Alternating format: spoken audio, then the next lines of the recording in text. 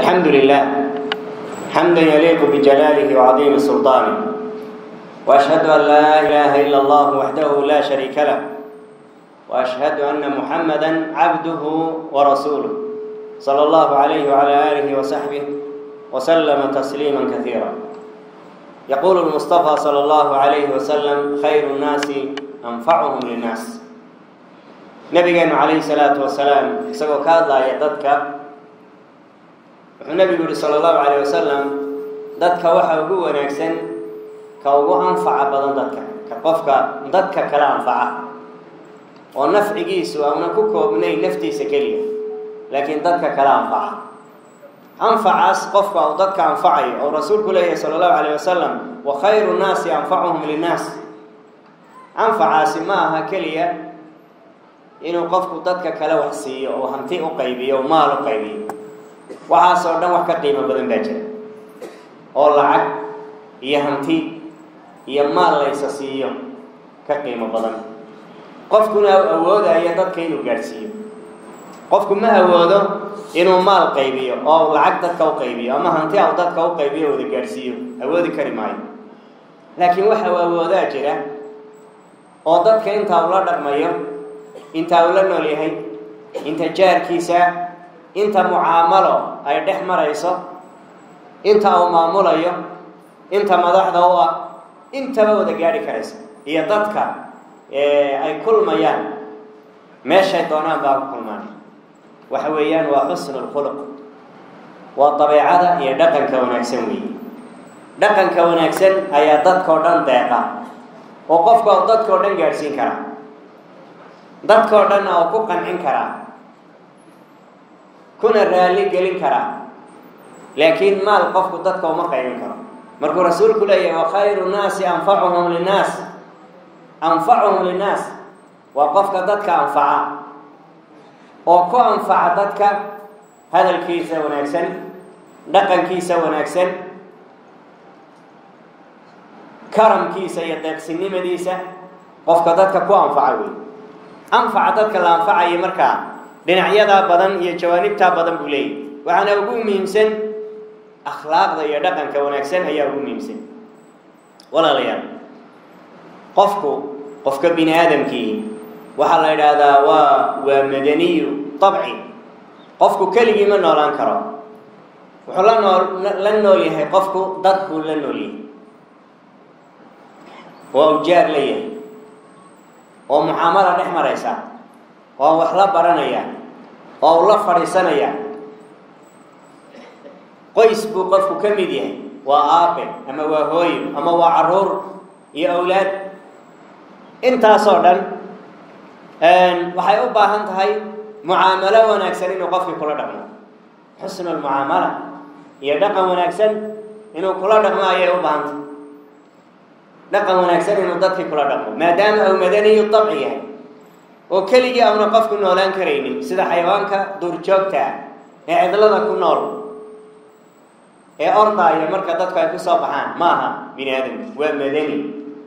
Qof buu u soo dhawaanayaa. Meel bini aadam joogo ayuu qofku ayuu doonayaa inuu inuu yimaado. Cidlada ma karayo. Maadaama uu madani madaniyu dabci yahay sidee buu dadka ula dhaqmaya? Kayfa tatacaamalu maca naas dadkan aada la nooshahay ee qoysaad kula nooshahay haddaad aabbo tahay haddaad hooyo tahay haddii aad tahay awlaaddii aad ka mid tahay qoyska aad ka mid tahay haddaad dadka kale bulshada tahay qoyska marka la dhaafo bulshadii bulsho weyntii seed ula dhaqmaysa. Haddaad tahay madax ood xafiis maamulayso ama aada shirkad madax ka tahay ama mu'asase aada hogaamiye ka tahay ama xafiis dowladeed aad joogto. Ama ummadaba aada hogaaminayso. Kayfa tatacaamalu macahum? Seed dadkan u dhaqmaysa. Xaqa dadku ay kugu leeyihiin. Muxuu dadkan waxaad ku deeqi kartaa oo aad dadkan ku soo jiidan kartaa oo aad dadka ku hantii kartaa waa xusnu lkhuluq waa dabiico wanaagsan. Diinteennuna kama soo hadho akhlaaq iyo dabiico wanaagsan. Laakiin intaana dadka akhlaaq wanaagsan iyo dhaqan wanaagsan kula dhaqmin rabbigii khaaliqa ahaa ee ku abuuray waa inaad akhlaaq wanaagsan kula dhaqanto ilaahay subxaana wa tacaala waa inaad ka xishooto rabbiga khaaliqa wuxuu ku amray aad qaadato wuxuu kaa reeba inaad kaadho itaqi llaha xayumaa kunt waatbici sayi'ata alxasana waatbici sayi'ata alxasana tamxuha wakhaaliq innaasa bikhuluqin xasan itaqi llaha xayumaa kunt ilaahay horta waajibkii au ku faray gudo wuxuu ilaahay kaa reebay ka hadh. Wuxuu ku amrayna la imo addoona la noqo oo ilaahay hoggaansan waayo akhlaaqda wanaagsan inuu qofku la yimaado qofka muslimka maxaa ku xambaaraya? Waxaa ku xambaaraya oo ku kalifaya qofku inuu akhlaaqda wanaagsan la yimaado. Wuxuu raadinayaa ilahay raalliyaanshiisa wuxuu raadinayaa janno. Ilaahayna inuu raalli ka noqdo oo jannadiisa ku abaalmariyo doonay wuxuu iska ilaalinayaa dhaqan xumo oo keenaysa ilaahay subxaana wa tacaala cadaabkiisa iyo cadhadiisa maaha iska yeelyeelid maaha. Waxaa iska yeelyeelaya maaha qofka muslimkii waa wax akhlaaqda wanaagsani. Waa mid ka soo burqanaysa caqiidada iyo iimaanka uu qofku rumaysan yahay. Rumaynta uu ilaahay rumaysan yahay maalinta dambe rumaysan yahay xisaabta dambe rumaysan yahay.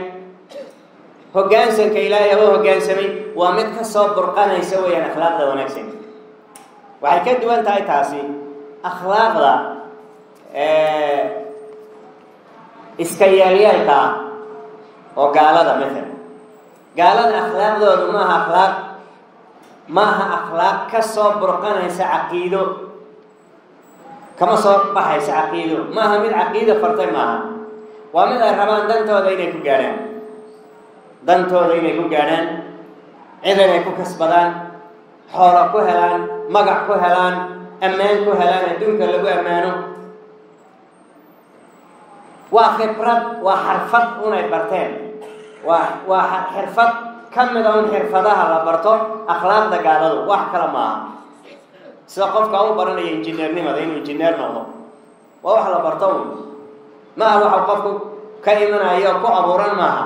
Waa waxau bartay.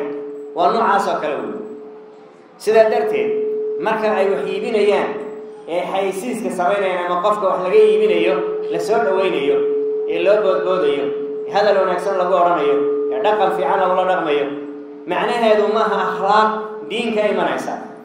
Waa akhlaaq maslaxa wey maslaxo maslaxa keentay. Halka islaamku ina farayo dhaqan dhaqan caqiide ah.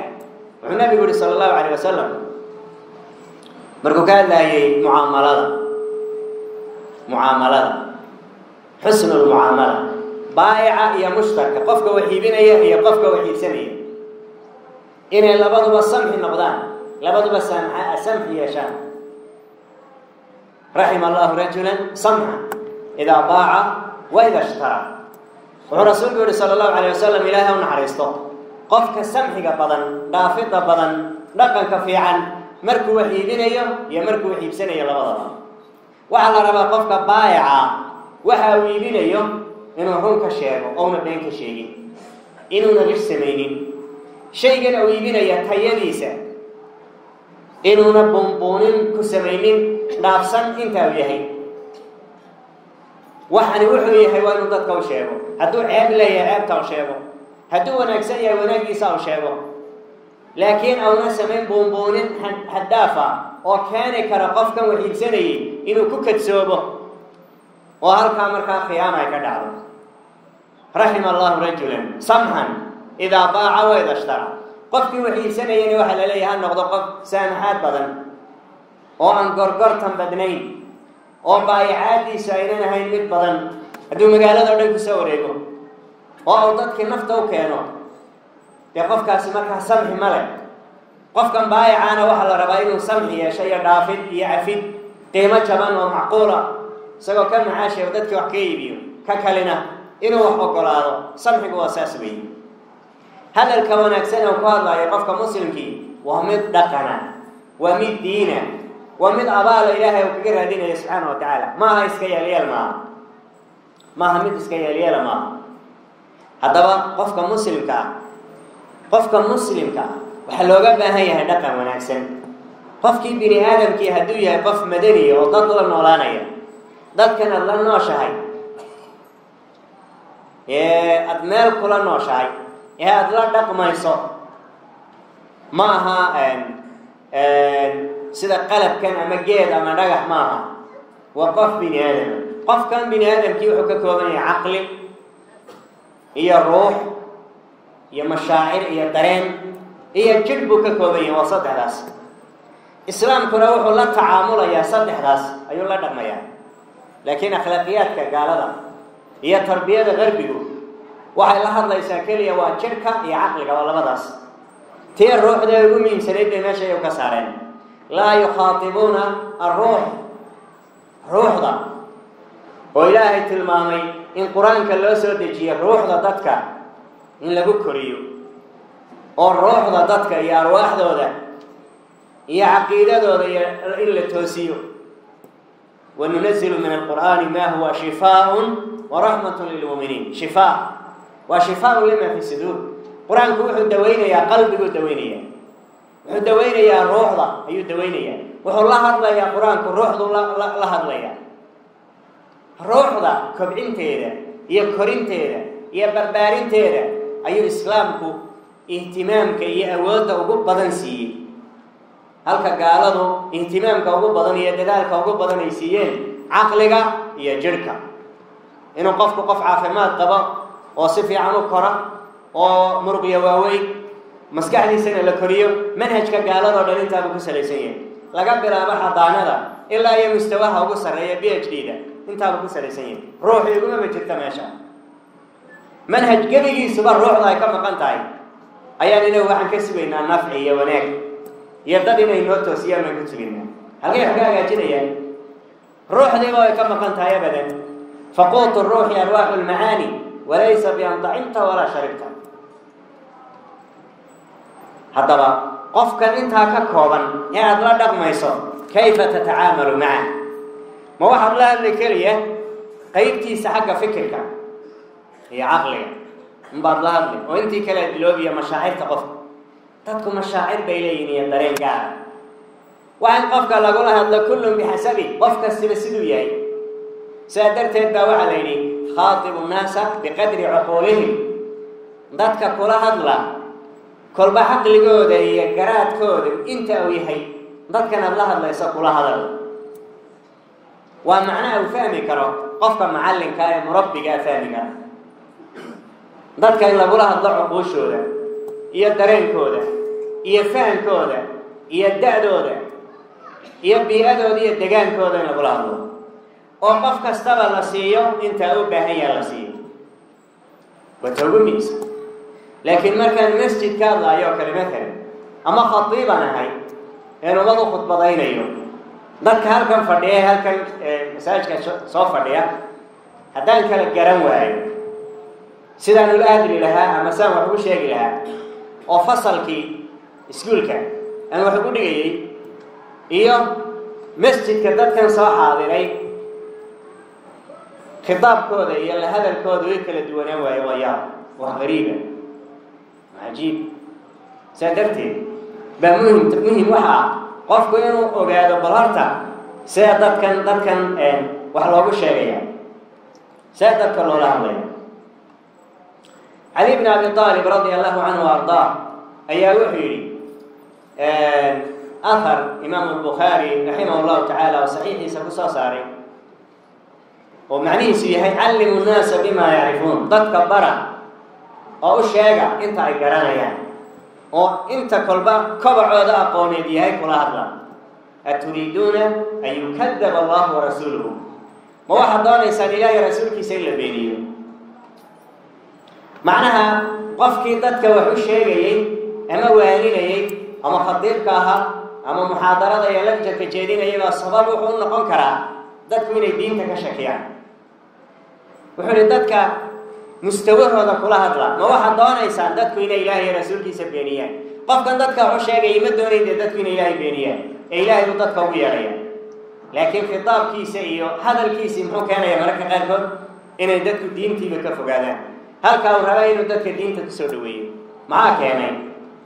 Dadka sidii ula hadlaayuu garan waayey dee waxa ugu daran mustawaha dadka la hadalkooda ugu khatarta badani waxa weeye waa dadka masaajidda yimaada matalan waxaa laga yaaba bacdu lkhudabaa khudabada dad kamidi qaar ka mid ihi inay idhaahdaan maanta maxaan khudbadun muxuun iska akri muxuun dadka iskaga sheeg. Haddii macallinkii wax dhigayay ee guriga madarasa iskuulka joogay ama madarasada joogay ee fasal hor joogsanayay wixii u ka hadlaaye la yidhi waa inuu noqdo muqarar manhaj munaasab ardayda waa marka koowaadba haddana fasalladii ay kala sarreeyaan ilaa xadaano laga soo bilaabo ay kala sarreeyaan. Macallinku ardaygan manhajkii loogu talagalay mustawihiisa abu horta u dhigaya haddana uu u tababaran yahay macallinnimadu u tababaran yahay waxaan au dhigaya siduu u dhigi lahaa buu yaqaanaa. Waa arday isku da- da-doodu waa isku da- waa isku manhaj. Bia keliya degaan keliya wada jooga. Isku fasala. Isku iskuula. Ayuu wax u dhigayaa. Bal waxaan ku weydiiyey. Dadka masaajka yimiday maxay ka kooban yihiin dadkaas? Dadka masaajka jooga.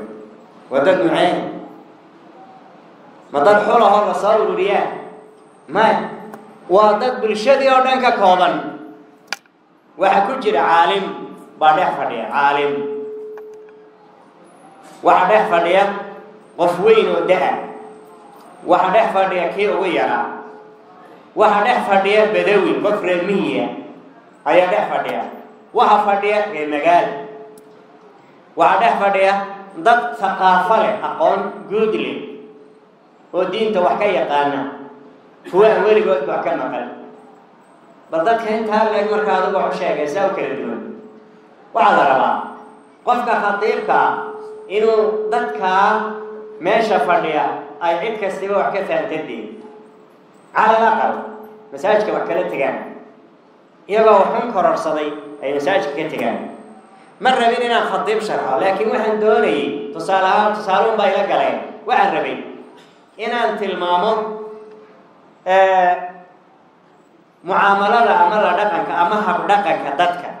Dadka sida loola dhaqmo iyo sharcigeenna islaamku iyo nabigeennu calayhi salaatu wasalaam sidaaba arrintaa u bayaamiyey inaan wax ka tilmaamaan dooni. Wuxuu rasuulku yihi sal allahu alay wasalam almuminu almu'minu ya'lif wa yu'laf walaa khayra fi man laa ya'lif walaa yu'laf qofka mu'minkii waa qof aliifa aliif. Aliif macnaheedu waxa weeye waa qof dadku waa qof geed har wanaagsana. Waa hadh wanaagsan oo dadku ay hadhsadaan oo dadku ay ku soo hirtaan oo ayna ka ordin ee ay hadalkiisa iyo dhaqankiisa iyo muuqaalkiisaba ay jecel yihiin wey waa qof noocaasa qofka muslimka qof dadku ay ku soo hirtaan hadalkiisa jecel yihiin wanaag iyo khayr oo ka soo burqanayo dadka anfaca agjoogga ay xataa ag joogsanayaan dadka ku anfacaya muuqaalka khayr iyo wanaag iyo bishaara ka muuqata hadal buu dadka ku anfacayaa oo deeq buu ku anfacayaa oo muuqaal buu ku anfacayaa oo dhaqan buu ku anfacaya waa aliif waa qof noocaasa qofka muuminkii walaa khayra fi man laa ya'lif walaa yu'laf wuxuu rasuulku leeyahay khayr ma leh qofka aanan dadku ku soo hirinin dadku ay ka firdhadaan khayr ma leh waa kale rasuulku sal alla alay waslam wa khayru nnaasi anfacuhum linnaas dadkana waxa u khayr badan ka dadka anfaca u khayr badan walaalayaal nabigeenu calayhi salaatu wasalaam wuxuu tilmaamay bini aadamku abuurkooda inuu kala duwan yahay. Oo rasuulku wuxu uhi sala allahu alayh wasalam ina allaha khalaqa aadama min qabdatin qabadaha min jamiici alardi. Ilaahay aadam wuxuu ka abuuray ciid iyo caro arladoo dhan oo ka soo qaaday rabbi subxaana wa tacaala. Waa ciid kala duduwan ayaa aduuna aadam laga abuuray. Maaha ciid nuuc keliya ah waa ciid kala duwan baa laga abuuray. Mar haddii ciidda laga abuuray nebiyullaahi aadam ciid kala duwan ay ahayd bini aadamkii marka uu kala duwan yahay. Xagga midabka iyo xagga akhlaaqda iyo dhaqanka intaba u kala duwan yahay. Waxaa ka mid a buu rasuulku yihi sal allahu alay wasalam bini aadamkii ku casaana midab ahaan iyo ku cad iyo ku madow. Waxa keenaya ciiddii iyo carradii bini aadamka abuurkooda oo ka koobnaa oo aadam laga abuuray. Ciid cas ciid madow ciid caddaana markaas baa bini aadamkiina uu noqday midabadoodii midabo kala duwan. Hadday xagga midabka ay kala duwanaadeen xagga akhlaaqdana ay kala duwan yihiin. Oo wuxuu rasuulku yuri sal allahu alay wasalam waxaa ka mid a mid sahlan oo dabacsan iyo mid adag. Mid dayibahoo fiican oo dhaqan fiican iyo mid khabiisa ilaan sidaa ciidduba u kala duwan tahay. Ciid wanaagsan oo carasan ah iyo ciid dhegeda ciid cad waxba ka baxayn intaba ciidu way iskugu jiraan. Dadkiina waxay noqdeen noocaas dad wanaagsan. Walbaladu ayib beledka wanaagsan ama ciidda wanaagsan maxay soo saartaa? Nabaad wanaagsan iyo dalag fiican bay soo saaraysaa. Dadkiina sidaas bay u kala duwanaadeen. Dadka sidaa u kala duwan mid akhlaaq fiican iyo mid adag oo kagan oo dabci adag sidee intan la yskugu wadayaa marka dadka ay wada kala duwan? Sida dadka mustawayaadkoodii xaggii da-da iyo xaggii aqoonta iyo xaggii degaankaba dadku ay u kala duwan yihiin bay xaggii akhlaaqdana ugu kala duwan yihiin. Marka kii akhlaaqda fiicnaa iyo kii akhlaaqdiisa waxoogaa dhexdhexaadka ahayd iyo kii khiikhda ahaa ee kuma taabtee haytaaban ahaa intaba ilaahay baa abuuray. Saad oola dhaqmi markaa intaas oo dhan intaas oo dhan ba qaabkii loola dhaqmi lahaa ayaa waxaan ku soo khulaasaynayaa waxaan insha allahu tacaala isku dayi doonaa bal khudbadaha soo socda inaan nebigu calayhi salaatu wasalaam qaabkii ou dadka ula dhaqmi jiray aan wax ka tilmaana insha allahu tacaala waxay nagu filan hadyigii nebiga sala allahu alay wasalam inaan dhaqankii nebiga qaadano sala allahu alay wasalam walakum fii rasuuli illahi uswatun xasana nebigaa tusaale inoogu filan iyo akhlaaq iyo dhaqan dhaqan waxaa inoogu filan iyo akhlaaq iyo kudayasho nabigeena calayhi salaatu wasalaam mithaal buu ahaa mithaal tusaalu ahaa akhlaaq oo dhan buu tusaale u ahaa nebigu calayhi salaatu wasalaam ilaahina wuxuu tilmaamay akhlaaqdiisu inay qur'aanka ahayd oo qofkii doonaya inuu rasuulka arko dee qur'aanka una akriyo siday caaisha tiri radi allahu canha ilaahi subxaana wa tacaala ka baryaynaa ilahay khayrka inuu waafajiyo addunya aakhiraba ربنا آتنا في الدنيا حسنة وفي الآخرة حسنة وقنا عذاب النار. اللهم اغفر للمسلمين والمسلمات الأحياء منهم والأموات. اللهم أذل الشرك والمشركين أعداءك وأعداء الدين اللهم إنا نجعلك في نحورهم ونعوذ بك من شرورهم. إلهي سبحانه وتعالى نكبر ينا بأسماء الحسنى وصفاته العلى. إن إلهي سبحانه وتعالى dadka muslimiinta guud ahaan ilaahi subxaana wa tacaala cizi iyo sharaf ilaahi subxaana wa tacaala siiyo. Waxaan ilaahi subxaana wa tacaala weydiisanaynaa dadka intay codran ee xanuunsanaysa ilaahi subxaana wa tacaala inuu shaafiyo. Dad badan oo masaajidka dadka ku xihan ka mid ah ayaa waxay soo codsadeen in loo loo soo duceeyo. Oo halkan waraaqooda aan ku hayo iyo kuwa afka iga sheegay dhammaanba ilaahina subxaana wa tacaala waa qalbi jire. Ilahay wax ka qarsooni ma jiro alla wax ilaahay ka qarsooni ma jiro waxaan ilaahi subxaana wa tacaala ka baryaynaa oon ilaahi subxaana wa tacaala weydiisanaynaa biasmaa'i lxusnaa wa sifaatihi alculaa in ilaahi subxaana wa tacaala dadka caafiyo ilaahay caafiyo ilaahi subxaana wa tacaala cudurkaa ka kor qaado ilaahay caafimaad deg dega ilaahi subxaana wa tacaala ha siiyo dhammaanba dadka muslimiinta intii dhibaataysan ilaahi subxaana wa tacaala dhibtaa ka qaado rabbana aatina fi dunya xasana وفي الآخرة حسنة وقنا عذاب النار وصلى الله وسلم وبارك على محمد وعلى آله وصحبه وسلم وقم السلام